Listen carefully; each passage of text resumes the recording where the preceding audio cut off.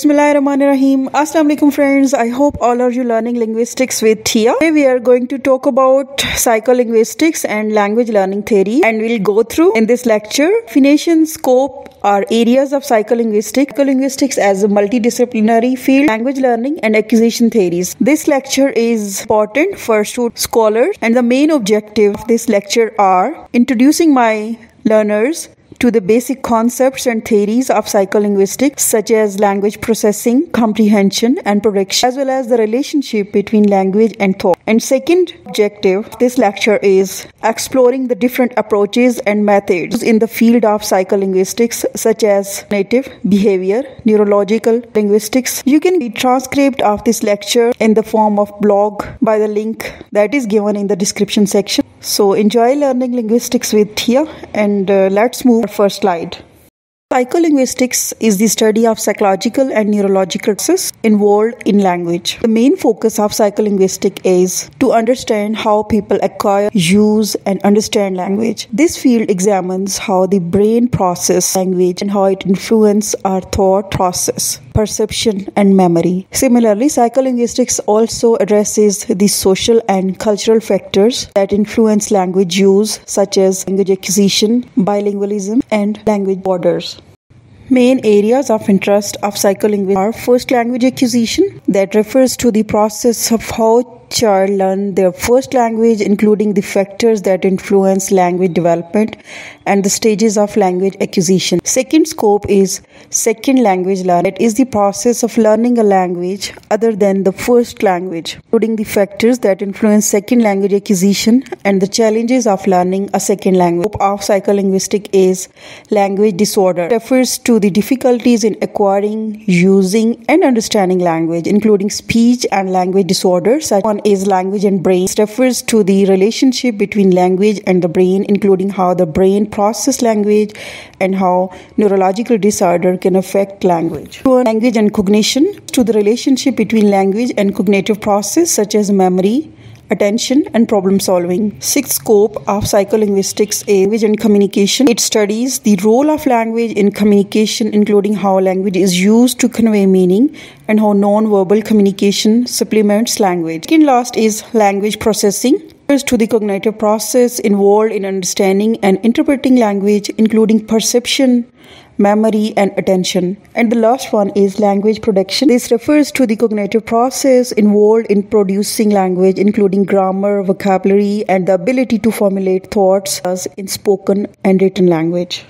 Psycholinguistic is the combination of multiple fields like focuses on the psychological and neurological process involved in language. It draws on research from cognitive psychology, neuroscience, and speech and hearing sciences. One is philosophy, the role in the psycholinguistics by providing a theoretical framework for understanding the nature of language and meaning. Others have contributed to the study of language by examining the relationship between language and thought, the nature of meaning, and the structure of the next one that is the most important that is linguistics. Linguistics provide the framework for psycholinguistics and has contributed to our understanding of the structure of language including phonetics, phonology, morphology, syntax and semantics. Further, we have neuroscience. Neuroscience is a key area of research in psycholinguistics as it helps to understand the neural mechanism underlying language processing and production. Second last is anthropology that provides insight into how language and culture are trained, how different cultures have different ways of using and understanding language. Computer science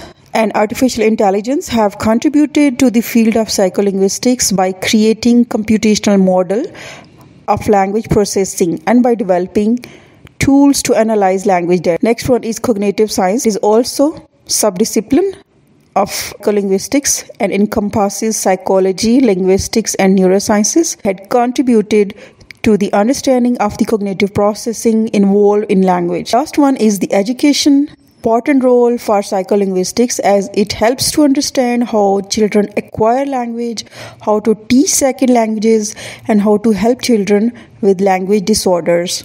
To some important theories of language learning and acquisition and psycholinguistics.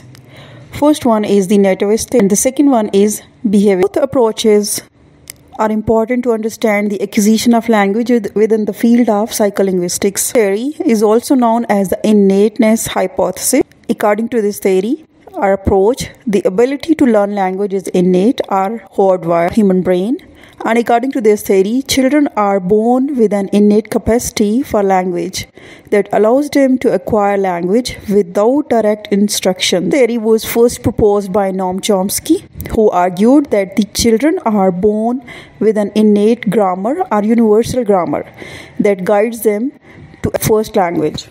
Second important theory is the behaviorist, which states that the behavior of an individual is shaped by its environment and the behavior is learned through reinforcement. He suggests that language is learned through a process of classical and according to this theory, Children learn language through exposure to language and reinforcement of language related behavior. Theory was propounded by B.F. Skinner. Both theories, nativist and behaviorist, have their own strengths and limitations. Both are important in the field of psycholinguistics. Nature and nurture, important role in language learning and acquisition. Two important theories after nativist and behavior theories are social interaction and cognitive development. Both approaches are to understand language acquisition within the field of psycholinguistics.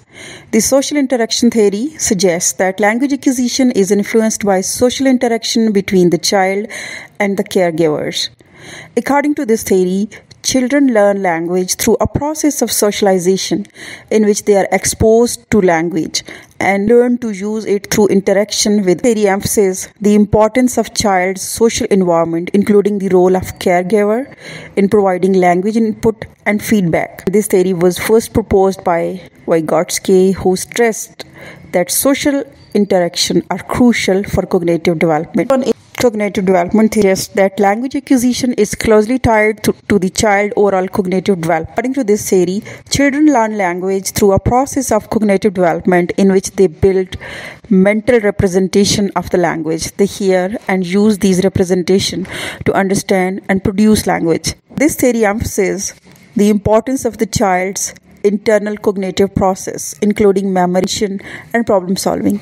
This theory was first proposed by Jean Piaget. Is that cognitive development is closely tied to language development. Theories have their own strengths and limitation, and we will discuss all these theories in detail in our next few lectures.